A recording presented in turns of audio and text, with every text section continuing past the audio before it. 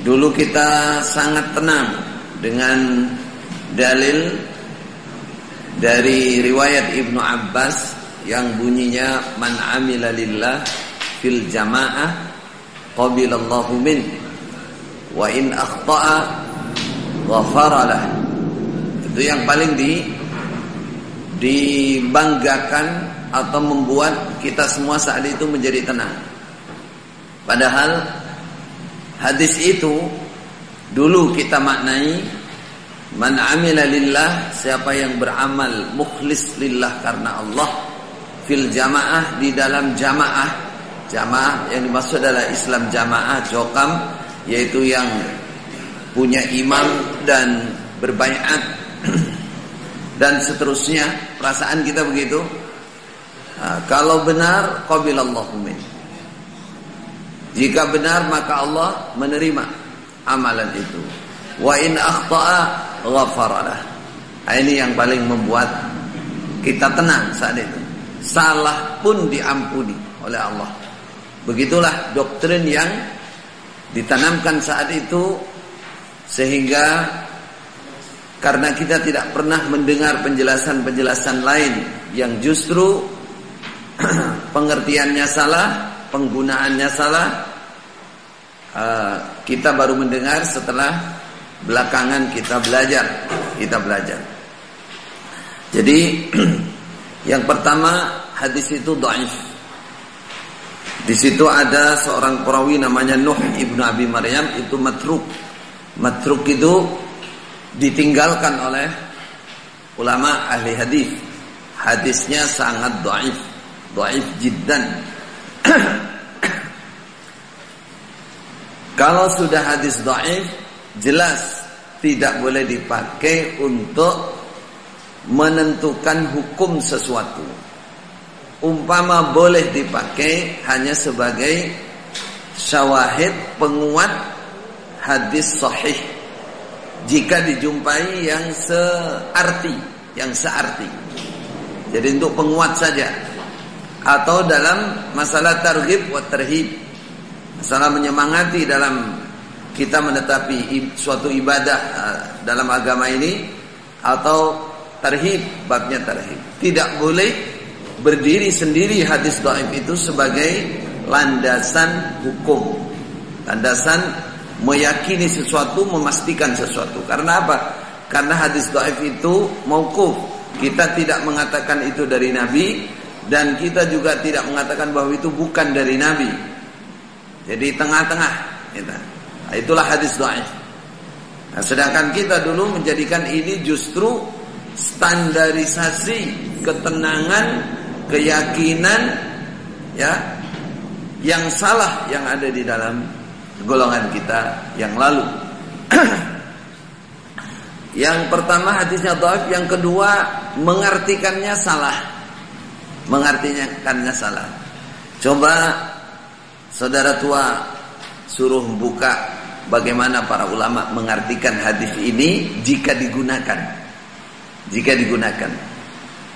Jadi tidak ada satupun yang memaknai hadis ini untuk sebuah golongan di antara umat Islam yang memisahkan diri dari umat Islam kemudian membentuk jamaah sendiri, mengangkat amir sendiri, lalu disembunyikan dan seterusnya, tidak ada. Seorang ulama pun yang menjelaskan seperti ini. Bahwa jamaah yang dimaksud dalam hadis ini tidak ada. Yang banyak di sini adalah berbicara masalah jamaah manhaj. Ini bagi yang menggunakan. Jadi seperti kaidah yang saya sebutkan tadi, untuk menguatkan hadis-hadis sahih. Artinya bagaimana?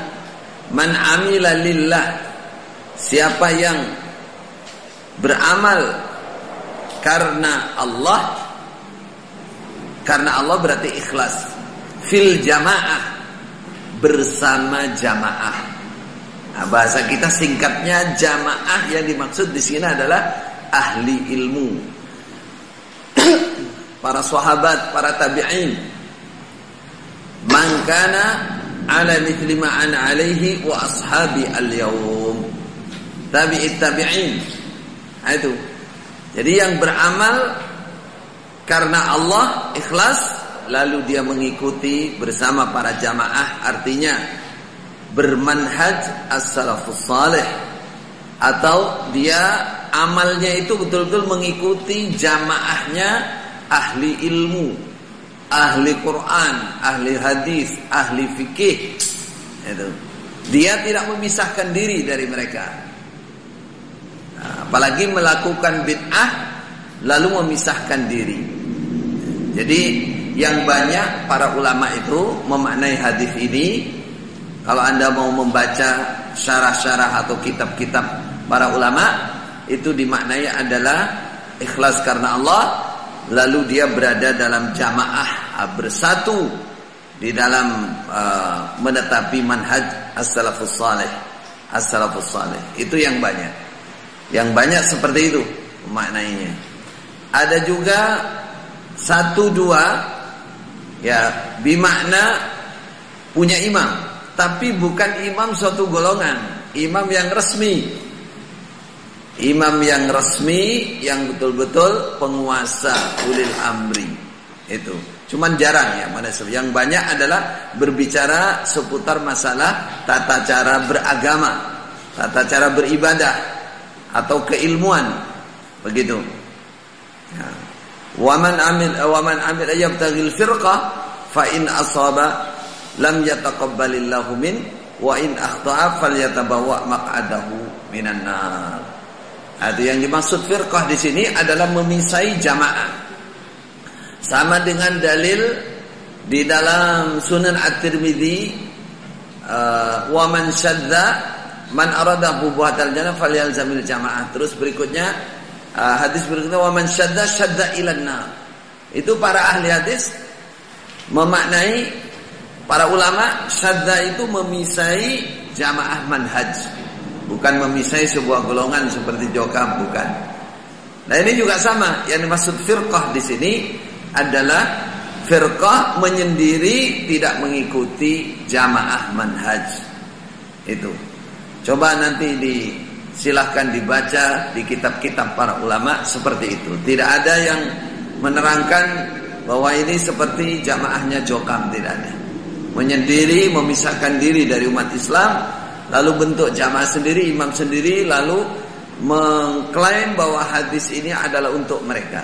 Ini kesalahan besar, kesalahan besar.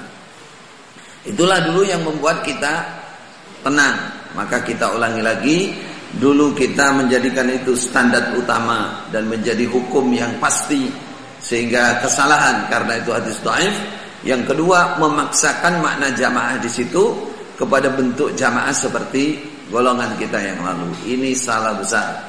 Ini menyalahi tata cara istidlal menggunakan hadis menjadi suatu dalil. Nah, menyalahi juga bagaimana para ulama memaknai hadis ini.